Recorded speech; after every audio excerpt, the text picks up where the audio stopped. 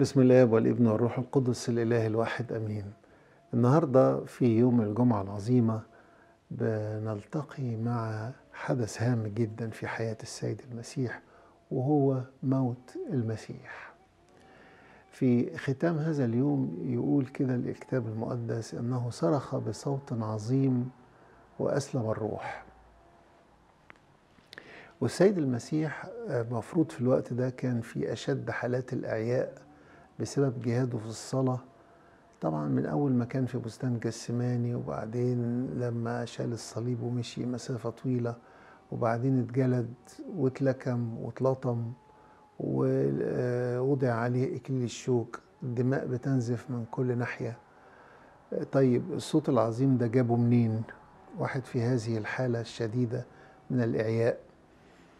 ده بيؤكد إن هو صوت الإله المهوب هو الإله الذي عاش ومات من أجل خلاص البشر. وبعد كده أسلم الروح. ونكس رأسه وأسلم الروح. وهنا بقى عايز أقول حاجة إن لما بنقول عن السيد المسيح إنه أسلم الروح ده لا يعني إن هو مجرد إنسان بيسلم روحه لأن الإنسان العادي بيسلم روحه في يدي الله اللي هو مستقل عنه.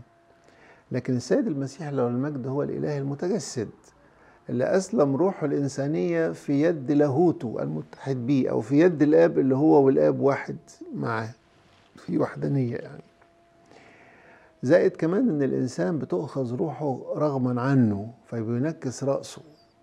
أما السيد المسيح الإله اللي ظهر في الهيئة كإنسان عشان يموت بإرادته ويتمم الفداء استعد للموت ونكس رأسه ثم أسلم الروح بإرادته. وقال كده قال ليس أحدا يأخذها مني بل أضعها أنا من ذاتي. محدش له سلطان عليه. وبعدين نيجي الحقيقة هامة إن السيد المسيح لم تكسر سقانه على الصليب. نقرأ الجزء ده في إنجيل يوحنا. يقول ثم إذا كان استعداد فلكي لا تبقى الأجساد على الصليب في السبت لأن يوم ذلك السبت كان عظيما سأل اليهود بيلاطس أن تكسر سيقانهم ويرفعوا. فأتى العسكر وكسروا سقي الأول والآخر المصلوب معه وأما يسوع فلما جاءوا إليه لم يكسروا ساقيه لأنه رأوه قد مات. دي كانت عادة عند اليهود أنهم لا تبقى الأجساد مصلوبة على الصليب في يوم السبت. وكان يعتبروا إن الأجساد المصلوبة ديت على الصليب تعتبر بقائها بعد غروب الشمس تعتبر نجاسة للأرض. عكس الرومان الرومان كانوا بيتركوا المصلوب حتى يموت وحتى كمان يفسد على الصليب. لذلك اليهود طلبوا من بيلاطس إن يكسروا سيقان السيد المسيح ونصين عشان يعجلوا بموتهم قبل ما السبت يدخل. وطبعا أنتوا عارفين حسب تقاليد اليهود السبت يبدأ من غروب يوم الجمعة.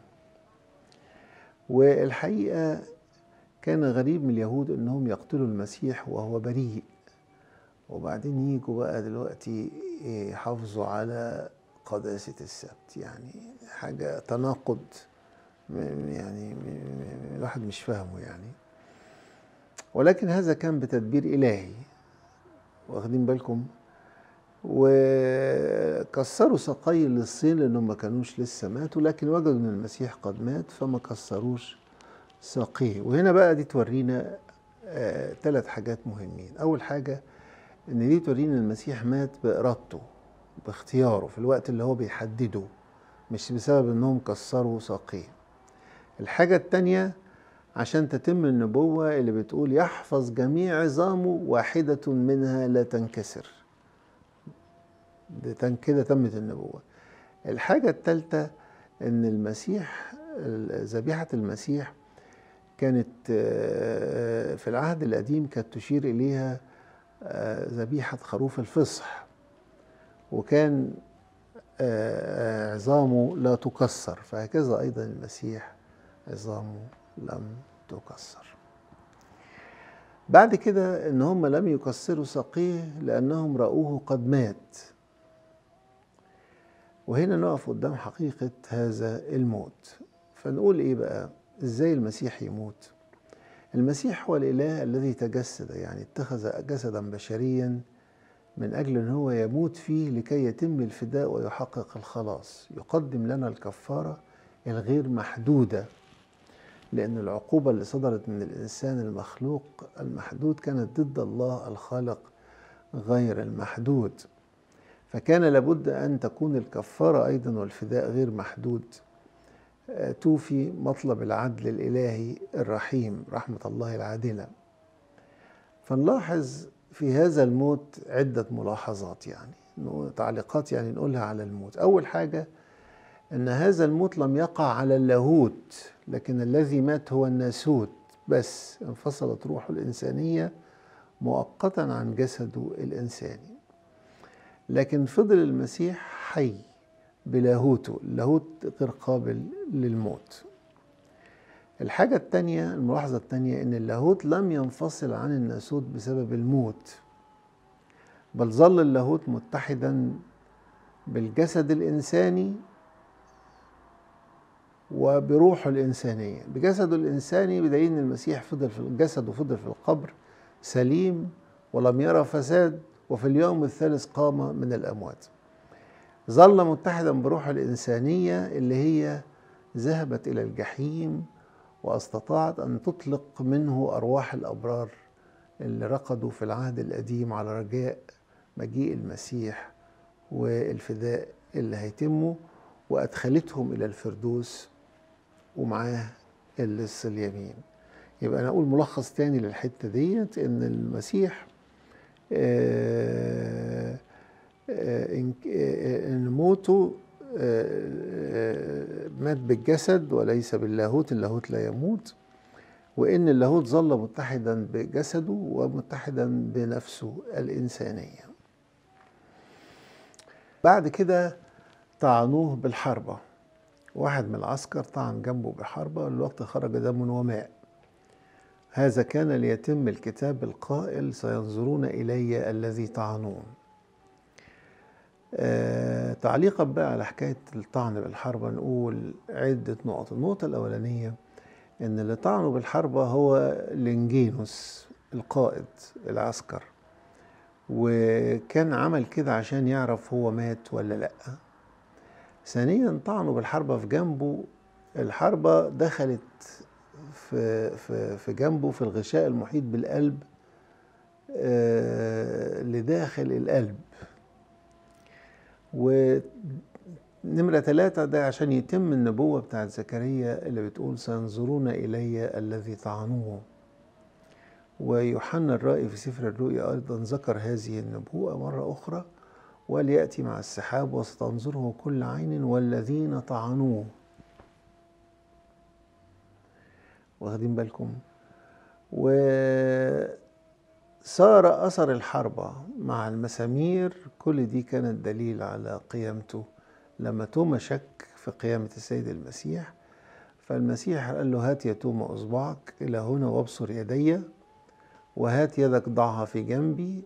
وشاف أثر الطعنة وقال له لا تكن غير مؤمن بل مؤمنا. وطوبى لمن آمن ولم يرى. لما طعنوه بعد موته تدفق من جنبه دم وماء يتميز الواحد عن الآخر الدم يتميز عن المية. وطبعا معروف إن الإنسان لما بيموت دمه بيتجلط فلو طعن في قلبه ممكن ينزف قليل من الماء.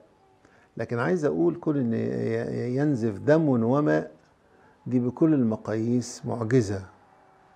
وإن دلت فبتدل إن اللي مات على الصليب ليس انسانا عاديا بل هو الإله المتجسد. اللي ما اللي ممكن يكون مات بالناسوت ولكن ظل حيا باللاهوت وأن اللاهوت لم يفارق ناسوت لحظة واحدة ولا طرفة عين وظل متحدا بروحه الإنسانية وبجسده الإنساني والحقيقة يعني روحيا أنا بتأمل في هذا الأمر وأشوف إن أنا بخطاياي أنا اللي بطعن المسيح بحربة في جنبه. وإن كانت الحرب المادية اللي طعنوه بيها خرج منها دم وماء ده من أجل غفران الخطايا. الدم يغفر الخطايا والمية تطهر الإنسان. ويمكن الكنيسة خدت تقليد كده في القداس الإلهي إنها بتمزج الخمر بالماء في الكأس لما بنيجي نقدم القداس ونصلي فبنحط قليل من الماء إلى الخمر إلى الكأس إشارة للمية والدم اللي خرجوا من جنب المسيح. ده السر العظيم اللي بننال بيه الخلاص. بعد كده بنتأمل في بعض الظواهر العجيبة اللي صاحبت موت المسيح صلبه وموته. أول حاجة الظلمة. الساعة السادسة كانت ظلمة على الأرض إلى الساعة التاسعة. لم تكن ظاهرة طبيعية لكسوف الشمس بل ظلمة غير عادية. ومما يؤكد كده إن القمر كان بدر كان متكامل يعني ما كانش هلال ما كانش جزء صغير لا ده كان كامل. وبيذكرنا بالنجم اللي ظهر في مولد السيد المسيح الإله المتجسد. وهذه الظلمة ما, ما تفسيرها. نتأمل فيها نقول إنها لعل الشمس توارت خجلا وحياء لأن خالقها كان عريانا على الصليب. أو لعلها كانت إشارة لظلمة الخطية اللي حملها السيد المسيح. فالخطية ظلمة لذلك يوصي بولس الرسول بيقول لنخلع أعمال الظلمة ونلبس أسلحة النور. وهي إشارة للصراع مع الشيطان اللي هو سلطان الظلمة. وفي وطرح في الظلمة الخارجية. الظاهرة الثانية اللي هي الزلزلة الأرض تزلزلت وكأنها ناءت بثقل الحمل اللي صلبه رب المجد فتزلزلت وترنحت. أو هي كانت يمكن كانت بتستعد إنها تفتح فيها وتبتلعهم زي ما ابتلعت اللي خرجوا على موسى النبي. أو إنها تعبير عن الزلزلة اللي أصابت مملكة الشيطان تحت تأثير الضربة اللي وجهها إليها الرب بارتفاعه على الصليب حتى يحرر الإنسان من عبودية إبليس. أيضا الصخور تشققت وكأنها بتعلن إنها ألين من قلوب القصاة اللي عذبوا السيد المسيح وصلبوه الصخور الصلبة الناشفة ديت. أو كأنها بتصرخ وتسبح الرب وتحقق قوله إن سكت هؤلاء فالحجارة تصرخ. أو كأنها بتشير إلى تشقق جسد الرب الذي هو صخر الدهور من تأثير الجلد وأكاليل الشوك والمسامير والطعن بالحربة. فأفاض دما كريما نرتوي به في سر التناول في سر الإفخارستية. وزي ما انشقت الصخرة في البرية لما ضربها موسى بالعصا فأخرجت ماء لكي يشرب الشعب ويرتوي. أيضا ظاهرة ثالثة القبور التي تفتحت وقام كثير من أجساد القديسين الراقدين وخرجوا من القبور بعد قيامته ودخلوا المدينة المقدسة وظهروا لكثيرين.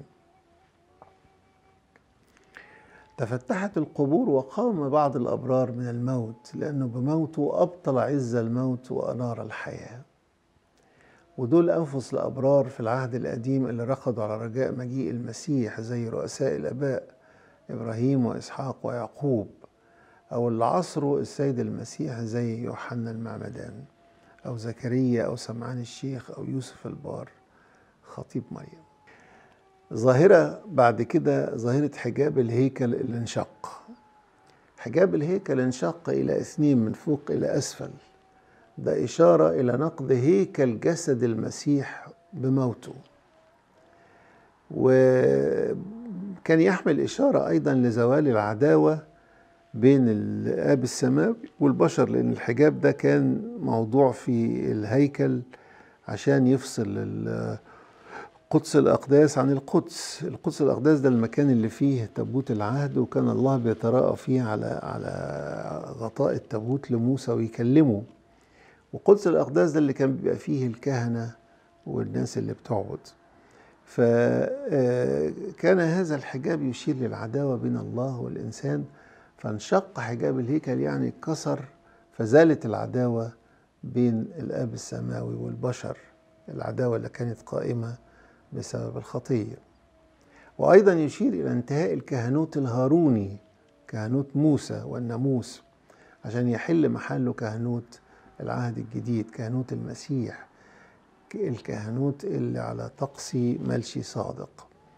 وانتهاء ذبائح العهد القديم الدموية وتحل محلها ذبيحة المسيح غير الدموية اللي بنتناولها من على مسبح العهد الجديد. وكان هذا أيضا إشارة لخراب الهيكل كله على يد تيتوس القائد الروماني في سنة سبعين ميلادية. كل هذه الشواهد يا أحبائي كانت شهادة من الطبيعة على أن الذي صلب ومات ليس مجرد إنسان عادي ولكن هو الله خالق الطبيعة. وشهادة أيضا أن إن كان البشر قد صلبوا خالقهم وذنبوه وهو بريء فهو بريء وهم المذنبون وكانت الطبيعة حزينة على خالقها لما سلم الروح. هنا بقى نختم هذا التأمل بسؤال هل ألام المسيح وموته تثبت لاهوته؟ طبعا تثبت لاهوته لأنها تميزت عن آلام وموت غيره بمميزات كثيرة. نذكر منها. أول حاجة نبتدي من أول ما ساعة ما اتقبض عليه. اتقبض عليه رايحين يقبضوا عليه. اللي حصل إن اللي رايحين يقبضوا هم اللي اترعبوا وهم اللي وقعوا وهم اللي خافوا. هو ثابت وقوي واللي جايين يقبضوا عليه هم اللي مرعوبين وهم اللي خايفين. المفروض اللي مقبوض عليه ده بيبقى مرعوب وخايف. لا كان العكس. ثانيا شهادة الحكام أثناء المحاكمة.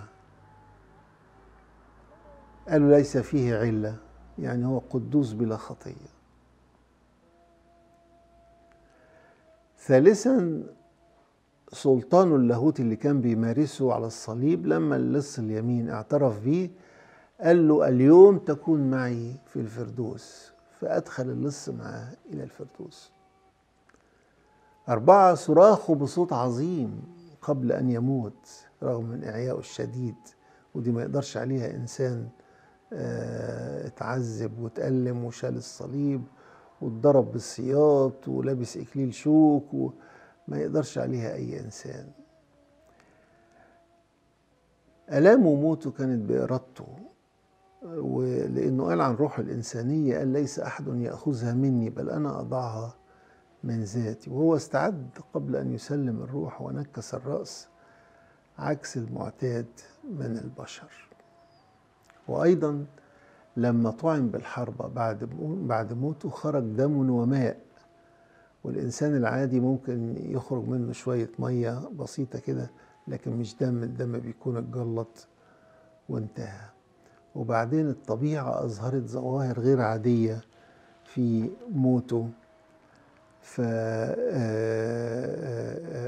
زائد كمان إن موته لم يكن هو ختاما لحياته على الأرض زي باقي البشر.